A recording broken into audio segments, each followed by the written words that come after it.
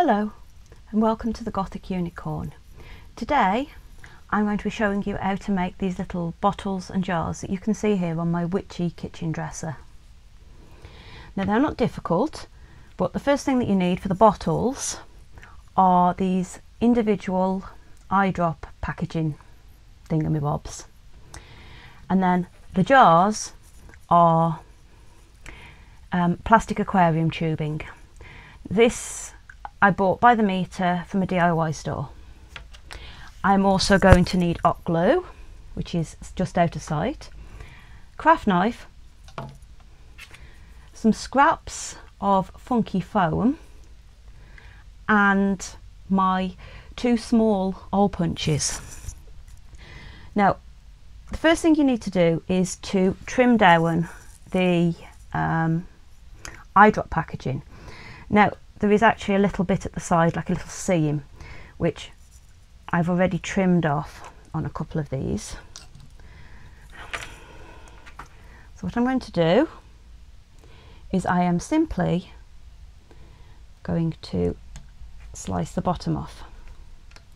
Of course it won't go all the way through. Now, you do sometimes still get little bits of the eye drops in there and we don't want that in our bottles. So I'll take the lid off. I actually keep these lids because I have trimmed them down and made things with them, but that's just me. So what I've now got, you can see, is a little glass bottle shape. It's about flat. Now move those out of the way. And I'm going to cut another one. Do excuse my poor camera skills. I'm still learning. And this one,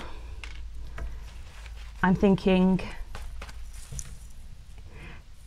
is going to resemble those sort of conical flasks that you get in science laboratories. The tube you do in just the same way. Cut pieces off. And here's a couple that I cut earlier. You can cut this with scissors. You don't even need the craft knife for that. Now, it's glue gun time. On a heat-proof surface, and this is a non-stick um, baking tray sheet. Bought it from a pound shop and it is absolutely brilliant because nothing sticks. Now, what I want is I want a nice big glob of glue, which hopefully you can see.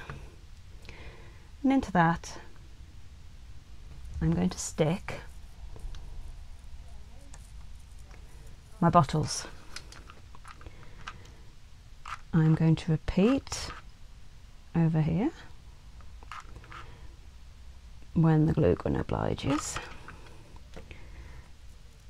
and repeat with my future jars. Now, this is perhaps the only time consuming bit because you have to wait for the glue to dry. Now, I've given the glue a couple of minutes by the magic of um, filming. And what I'm going to do is peel that off. And I'm going to do that with both pieces. And it peels off quite easily. Now I'm just going to grab a pair of scissors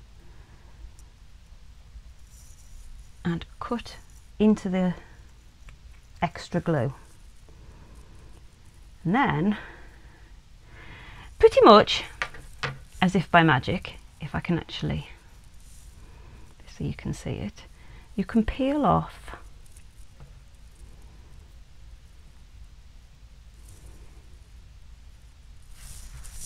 the excess glue. You can use a knife or your scissors to start it, or your fingernails like I am. and I'm going to do the same with these.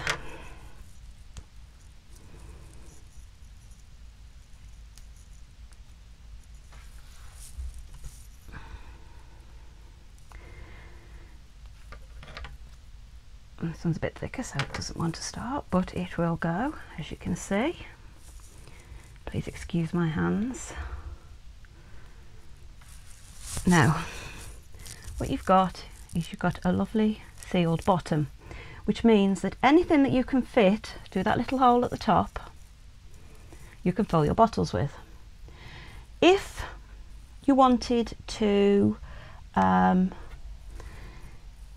paint the, the, get the bottles completely coloured as in the one that's there or partly coloured as in some of those on the top you can do that before you put the glue down I'm not in this case because I think I want these to be empty. But I am going to show you quickly how I do my lids.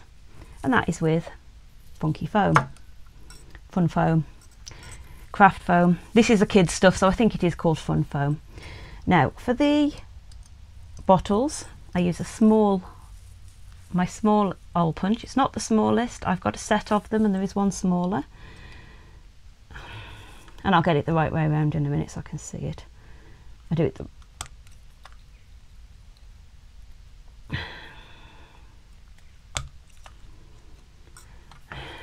what you do is you punch out a little teeny tiny dot of foam. Then that is glued on the top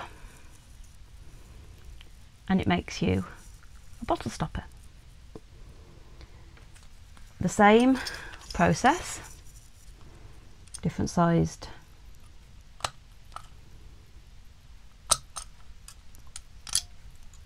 can give you